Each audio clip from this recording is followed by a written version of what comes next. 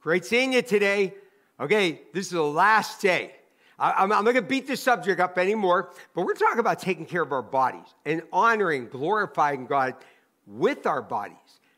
Okay, it doesn't matter how slowly you go, so long as you do not stop. Now, I mean that.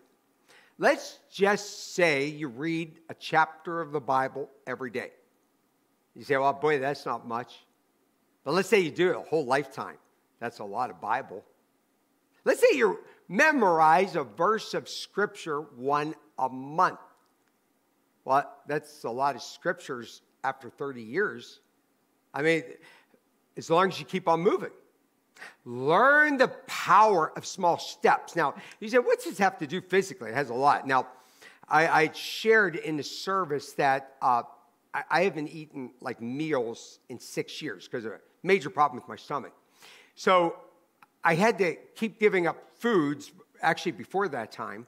And it's amazing what you could do when you take small steps and say, well, I'm not going to eat this, I'm not going to eat fried food anymore. I'm not going to eat any kind of food that's cooked in oil, you know, like deep fried. I'm not going to eat uh, desserts except a few desserts. You see, one of the problems we have, we have too much of a variety of things out there in which we could eat. We need to narrow that down. That, that will truly help you. But take it in small steps. 2 Timothy 2 5. Now, notice how Paul puts this. An athlete is not crowned unless he competes according to the rules. Let me tell you, you don't win unless you follow the rules, right? Okay, so here's the rules. It's real easy. You don't need that fad diet. You don't need to go on that crazy diet. You might lose the weight. Remember, 95% of all people are going to gain back the weight. Skip the diet, go to a healthy lifestyle, healthy eating, total healthy eating within portions. There are no half hearted champions. So, what I like here is this Paul puts together here about getting to where God wants you to be, and he talks about athletes and he talks about the race and he talks about running.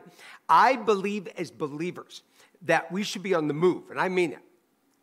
God made us so that we could work, going back to the biblical days, 12 hour days.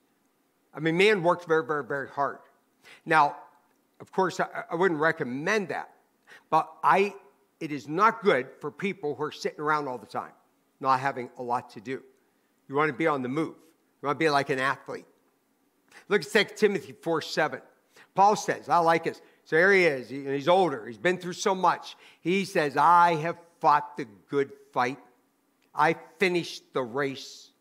I have kept the faith. Let, let me tell you what I see in there. Most Christians don't stay in the race until the end of life. They end the race 10 years before, 20 years before. Some never started the race. Listen, you ready to get in the race?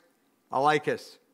Listen, stop living for time and start living for eternity. Don't just live for today. So this is what I want to leave you with is this.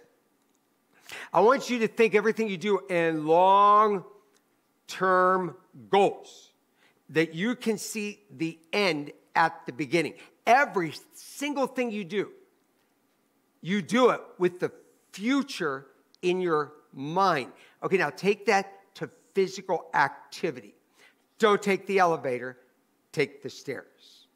Park the car at the cheaper lot downtown so you have to walk five blocks to get to the job.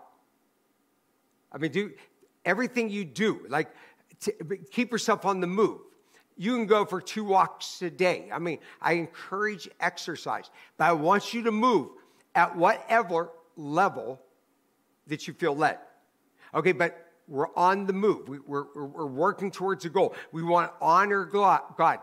We want to finish out life being the best version of ourselves, no matter how crippled up we are of physical problems in which we had. This is all possible in Jesus' name.